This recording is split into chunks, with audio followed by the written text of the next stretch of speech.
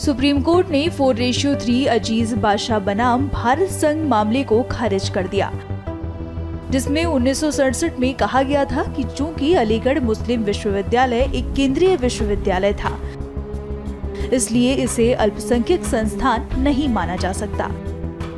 इस पर supreme court ने कहा है कि एएमयू अल्पसंख्यक दर्जे का मुद्दा नियमित पीठ द्वारा तय किया जाएगा। वकीलों ने आदेश को लेकर क्या जानकारी दी? सुनिए।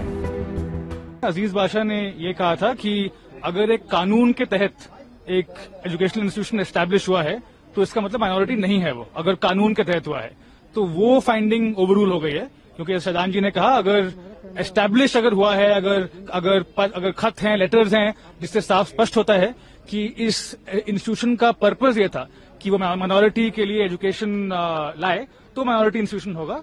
और ये ज़रूरी नहीं है कि बस माइनॉरिटीज हो उसमें, या माइनॉरिटीज की लैंग्वेज बस हो उसमें, वो सब ज़रूरी नहीं है।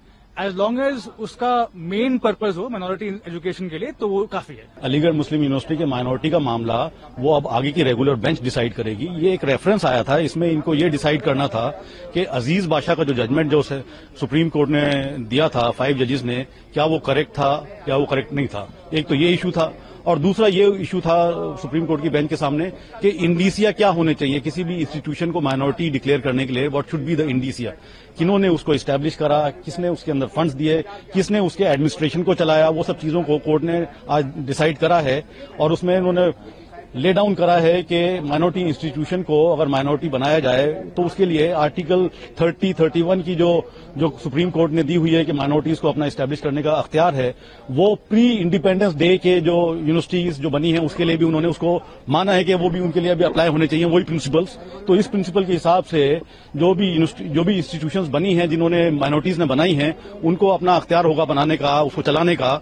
और ये जो अलीगढ़ यूनिवर्सिटी का मेन मामला था, जिसके अंदर वो माइनॉरिटी का मामला उसका अटक रहा था, वो एक अज़ीज़ बादशाह का जो जजमेंट था फाइव जजेस का, जिसमें उन्होंने बोला था कि यूनिवर्सिटी जो है ये एक्ट ऑफ़ पार्लियामेंट की वजह से बनी थी। ये एडमिनिस्ट्रेशन और वो सब चीज़ें जो है उसको इस्टेब्लिश नहीं कर, कर, कर पाने वाली बात जो है उसके अंदर रह गई थी तो उसको आज सुप्रीम कोर्ट ने ओवर रूल कर दिया है।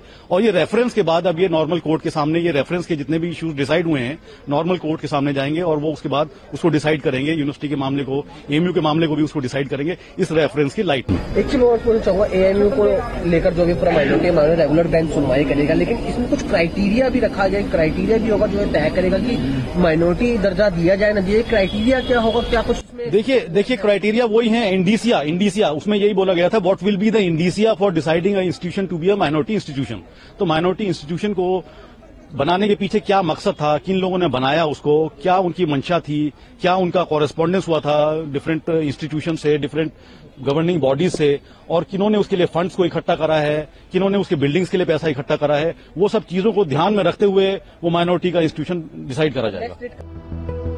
अलीगढ़ मुस्लिम विश्वविद्यालय की कुलपति नईमा खातून और मुस्लिम यूथ एसोसिएशन के अध्यक्ष मोहम्मद आमिर रशीद की इस आदेश पर क्या प्रतिक्रिया रही? सुनिए।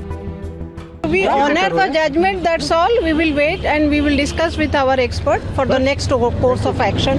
With our legal experts, we will discuss and we'll wait for the next course of action and we will have discussion with our legal experts. We have a team of legal experts. अभी ये judgement आया है अभी मैंने भी जैसे आपकी तरह टीवी पर सुना है और इस जजमेंट को हम वेलकम करते हैं हम इसको एक्सेप्ट करते हैं तमाम ह्यूमिलिटी के साथ में और आगे तो कोई भी चीज़ नहीं कही जा सकती जब तक कि पूरा जजमेंट नहीं पढ़ा जाए। लेकिन इसको अगर हम दो जुमलों में बात करें दो वाक्यों में तो इसको हम एक्सेप्ट करते हैं और इसको हम वेलकम करते हैं। अभी जो सुप्रीम कोर्ट ने कहा है कि तीन जजों की बेंच से कंटिन्यू सुनवाई करेगी उस पर क्या देखिए वो सारे बहुत से लीगल इश्यूज़ हैं जिसको जब पूरा जजमेंट जब तक नहीं पढ़ा जाए और पूरा इतने बड़ा डॉक्यूमेंट होता है तो जब पूरा पढ़ लिया जाएगा तभी उसके बारे में कोई बात करने की पोजीशन हो सकती है।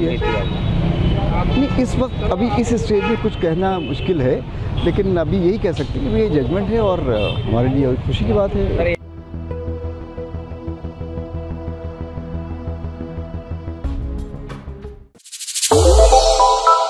श्रेष्ठ भारत पर खबरों से जुड़े रहने के लिए चैनल को सब्सक्राइब और लाइक करें। बेल आइकन दबाएँ और देखते रहें श्रेष्ठ भारत।